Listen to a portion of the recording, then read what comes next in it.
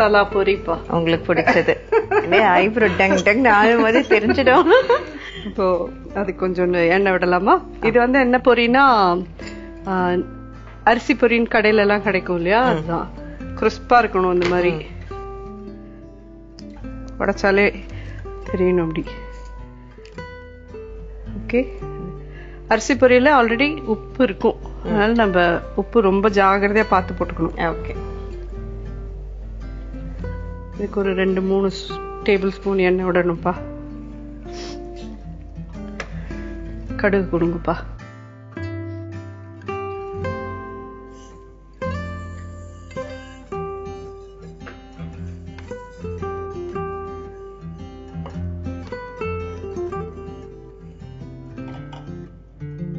இதெல்லாம் அடிக்கடி செஞ்சு இதெல்லாம் நாங்க பண்ணி இந்த மாதிரி டப்பால வச்சிருந்தோம்னா எங்க பசங்க எல்லாமே போக வர சாப்பிட்டு இருப்பாங்க.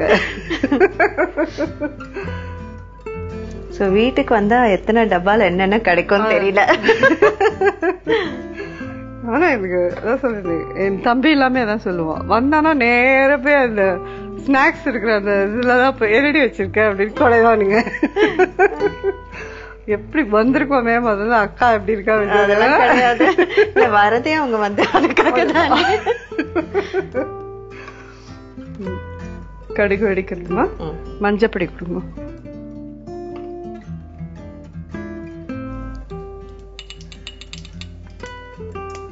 காரப்பொடிமா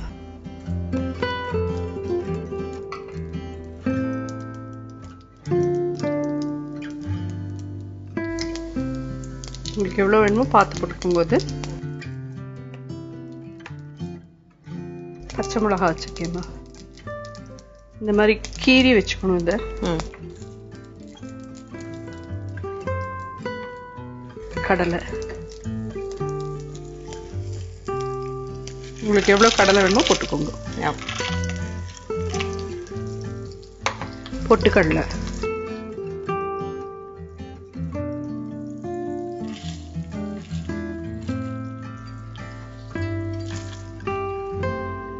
நட்ஸ் மிக்ஸ்ட் நட்ஸ் நீங்க எது வேணா போடலாம் அது.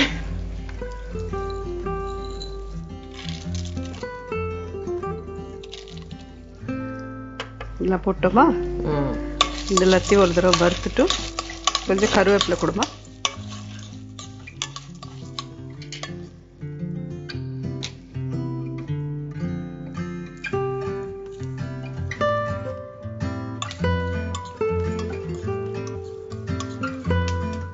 எல்லாம் வறுத்துட்டோமா. இப்போ வந்து அடுப்பு அணைச்சிட்டு தான் அந்த பொரியை போடணும். ஓகே.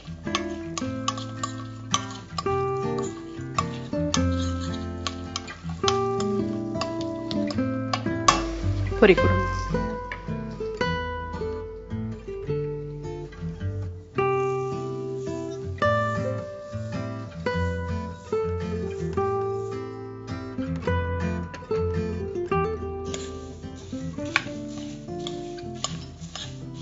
பண்ணினதும் இது வந்து கொஞ்சம் எண்ணெய் அப்படியே இருக்க மாதிரி இருக்கேன்னு இருக்கும். அப்புறம் கொஞ்ச நாள் கழிச்சு பார்த்தீங்கன்னா இதுல ஒண்ணுமே இருக்காது. ஓகே. எல்லாம் இன்ஜின்ரும் பொரி. இதை ஏன் அடுப்பை அணைச்சிட்டு போடணும்னு சொன்னீங்கன்னா இது சுட சுட எண்ணெயில் அப்படியே இது பொரிஞ்சுட்டே இருந்தா இது பொரி பொரியா இருக்காது. சுருங்கி போய் திணுண்டாயிடும். ஓகே. அரிசி பொரியிலே உப்பு இருக்கிறதுனால உப்பு வேண்டான்றது என்னுடைய ஒரு எண்ணம். நீங்க சாப்பிட்டு பார்த்துட்டு வேணுங்கிறவா போட்டுக்கோங்க. ஓகே.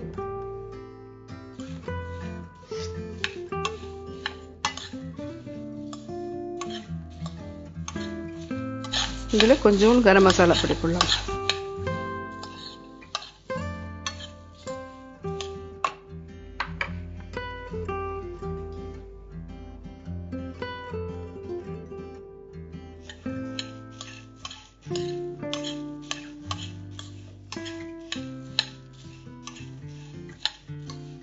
போடலாம் கொஞ்சமா சாட் மசாலாவும் கொடுத்துருவோம்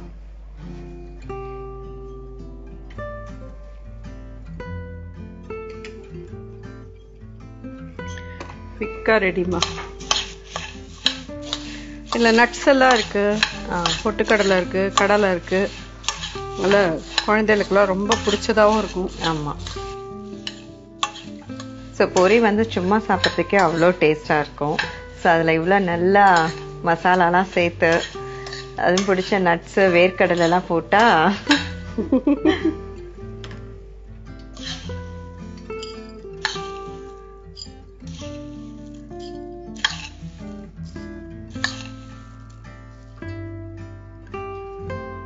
சாப்பிட்டு பார்ப்பா. தேங்க்யூம்மா மசாலா பொரி எப்படி செய்கிறதுன்னு பார்த்துருப்பீங்க. இப்போ இதனுடைய டேஸ்ட் எப்படி இருக்குன்னு பார்க்கலாம்.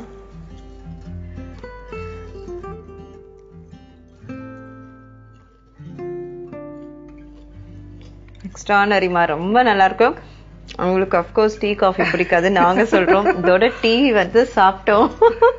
சூப்பராக இருக்கும். அவ்வளோ நல்லா இருக்குமா அது மாதிரி எஸ்பெஷலி குழந்தைங்களுக்கும் ஈவினிங் ஸ்நாக்குக்கு ரொம்ப ரொம்ப ஒரு ஹெல்த்தியான ஒரு இதுவாக இருக்கும். லீவ் நாள்னு இது பண்ணி டப்பா ஏர்டைட் டப்பால போட்டு வச்சுன்னா அதுகளே எடுத்துக்கோங்க ரெண்டே நாள்ல டப்பா காலி பண்ணிடும் சூப்பர்மா தேங்க்யூ